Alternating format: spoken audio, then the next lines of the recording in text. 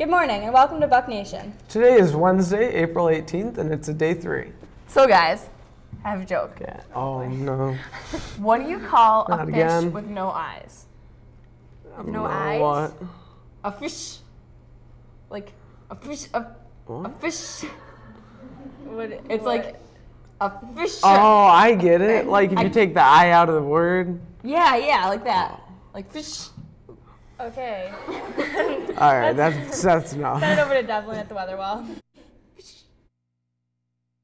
The map today, it's going to be mostly cloudy, mostly clear with a few clouds. Now over to our two-day forecast.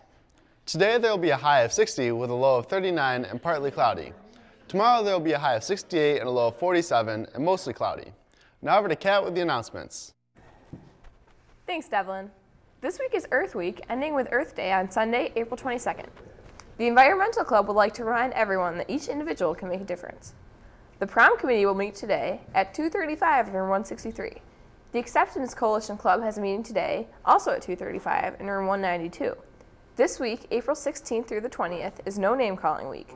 Please participate in the daily activities. Tomorrow is Mix It Up Day, and Friday is the National Day of Silence. The Bryant and Stratton College Coffee and College Talk will be Thursday, April 19th from 3 to 5 p.m. at Dunkin' Donuts on the corner of Route 40, 481 and Route 3 in Fulton to talk about the college process, opportunities, and the admissions process. If you're interested, stop by for a chat and free coffee and donuts while you meet with the counselors. If you would like time set aside for you, please call 652 6500 to set up, set up your appointment. The Junior Variety Show is Friday, April 20th, and Saturday, April 21st at 7 p.m. in the OHS Theater. Admission is $5. The American Red Cross Blood Drive will be held next Wednesday, April 25th, from 8 a.m. to 2 p.m. in the OHS Theater. Sign up for an appointment in the health office. Any junior or senior planner, planning to bring a guest to the prom who does not attend Oswego High School, please pick up the guest approval form from Miss Jackson in room 163 or Dr. Sweeney in room 186, starting Monday, April 23rd. This form must be filled out before you can purchase your prom tickets, which go on sale starting April 27th. The college visit for today is the Crouse Hospital College of Nursing and the Career Center, period 6. That's all for your announcements. Now over to Garrett with the sports.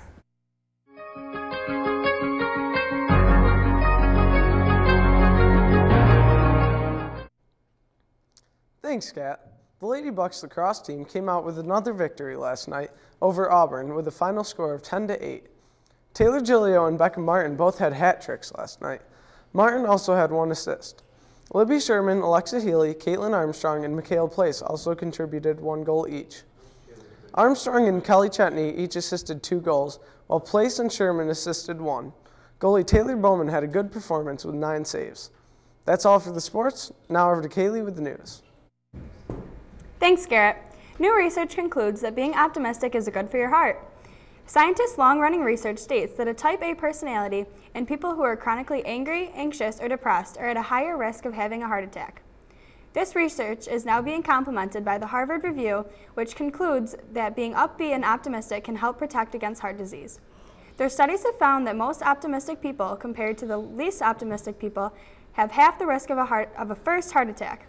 Research has found that people with a better sense of well being tend to have healthier blood pressure, cholesterol, and weight, and live a healthier lifestyle.